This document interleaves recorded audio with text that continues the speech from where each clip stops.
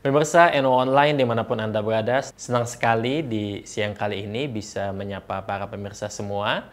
Uh, saya akan bercerita tentang sosok yang harismatik di Indonesia, yaitu Kiai Haji Sahal Mahfud. Beliau seorang tokoh NU dan juga pernah menjadi ketua Majelis Ulama Indonesia.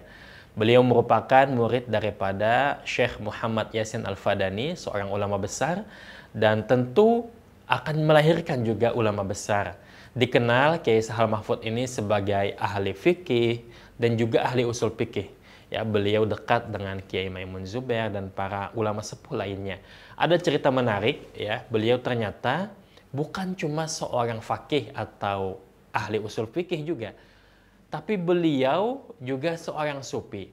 Ceritanya ini saya dapat dari Profesor Dr. Mujibur Rahman Rektor UIN Antasari Banjarmasin. Pada saat itu orang tua beliau, ya Kiai Haji Jamhari Arsyad, tokoh NU yang ada di Banjarmasin, itu mengikuti acara NU ya, acaranya perkumpulan di Pulau Jawa seperti itu. Nah, banyak tokoh-tokoh NU yang ada di Indonesia kumpul di satu tempat. Nah, di acara itu ada seorang ulama yang ditunjuk untuk memimpin doa. Ulama itu adalah Kiai Haji Sahal Mahfud. Pada saat itu Kiai Sahal Mahfud tampil ke mana? Ke depan podium atau di panggung seperti itu. Nah, kemudian Kiai Jamhari Arsyad melihat Kiai Sahal Mahfud ini pakai celana ya, bukan uh, ulama pada umumnya kalau di Kalimantan itu pakai gamis atau pakai sarung seperti itu. Maka beliau ada iktirat di dalam hati, kok ulama seperti ini.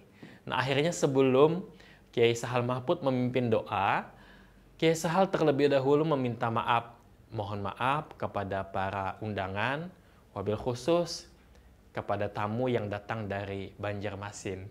Langsung pada saat itu Kiai Jamhari Arsyad merasa, oh ternyata akum batin tadi seperti itu, itu didengar oleh Kiai Haji Sahal Mahfud.